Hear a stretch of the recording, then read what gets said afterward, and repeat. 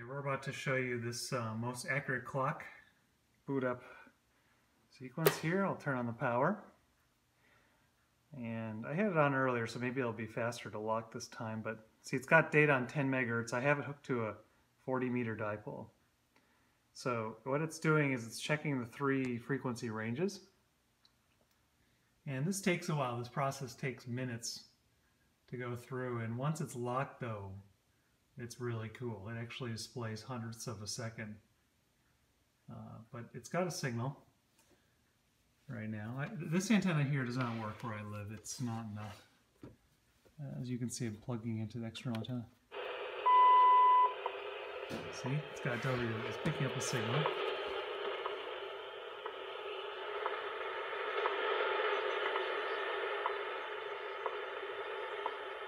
Awesome.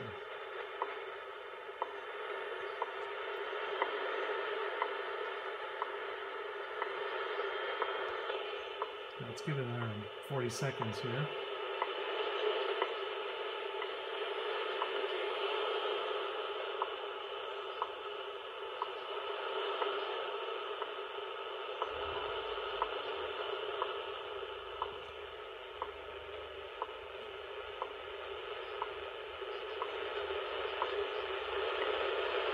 Should, should announce the time then At the zero hours, 44 minutes, coordinated universal time. Okay, still didn't sync up yet. Eventually it'll catch and I'll display it when it uh, actually uh, synchronizes.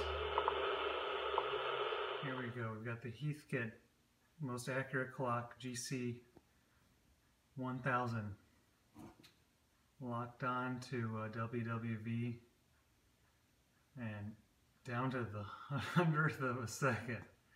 This is so cool. And it's actually right on local time. Sorry, my camera is wiggling all over the place.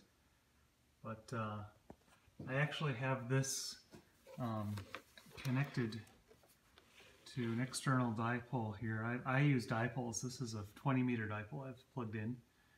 Uh, oh, look at 3.6 megahertz output. And what's this?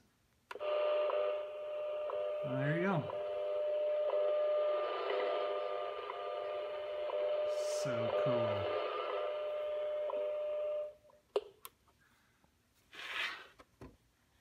So, whoops. This is definitely the coolest clock uh, ever seen. And so I've got this one going.